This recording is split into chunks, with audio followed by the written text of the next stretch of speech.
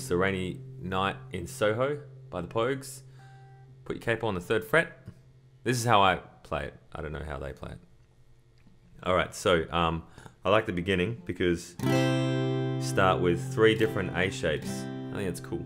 Um, so with your capo on the third fret, you put your middle finger on that 13th fret there, and then your 12th fret above that, 14th fret above that. Then you go down to um, the F shape, which is 8, 9, and 10th fret. And then you go down to just an open A chord.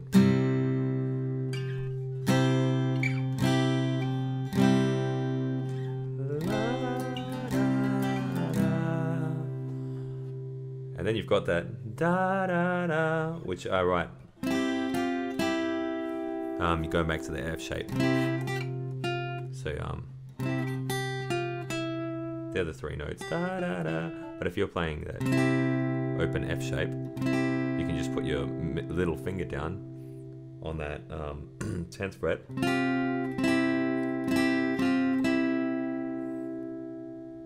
And then you, uh, yeah go to your D chord, D suspended second. Now notice I'm playing the D suspended second with my first finger and my second finger. I don't normally play it like that, but in this song I do, and I'll show you why later. There's like many reasons why. Um, so let's go over that intro.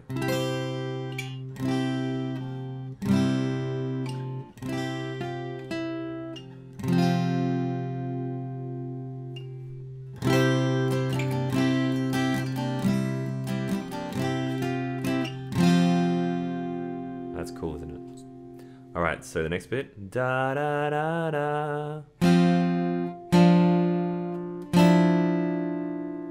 Holding that down at D. Second fret, fourth fret on that G string. And then I take my middle finger off, play second fret. Oops. Sounds a bit discordant, but that's okay, because this is a passing chord. If you want, you can go two, four, six. It's up to you. Then E. You play that E suspended four for a sec, which is just zero, two, two, two.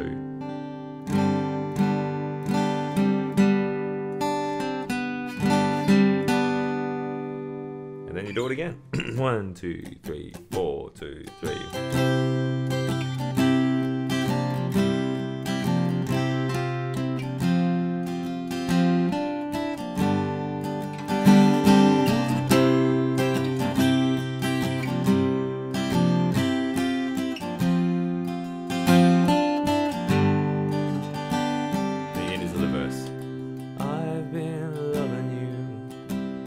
A long time.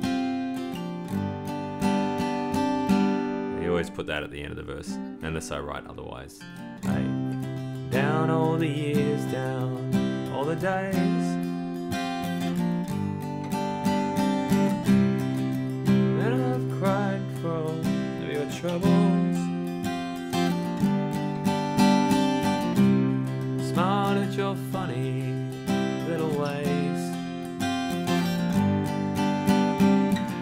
Keeps going the same, same, same until um, the second, the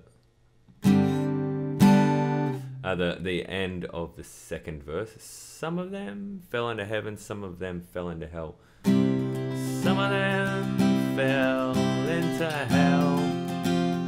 E sus four E. One, two, one, two. Yeah. Anyway, uh, then it goes back to normal. At the end of the third verse, uh, end of the beginning of the fourth verse, I sang you all my sorrows. I love that. Da, da. And the best way I could find that was to stick it around the E chord up here at the 10th fret. 10, oh, it's a C shape. 10, 9, 7, 8, open. So what you do is you get your middle finger, put it down a fret, no, a string, sorry, put it down a string. You got that kind of sound. Then put it back up to the normal fret where it's the middle finger back up to the normal fret. It's not always easy to get to that, so you got to practice it. I sang you all my.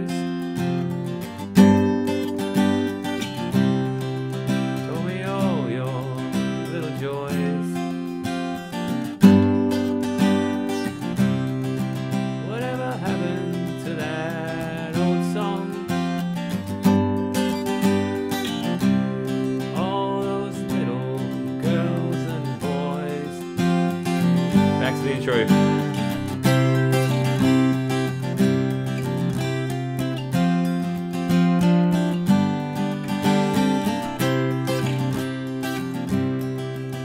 Oops. And that's um that's the whole song.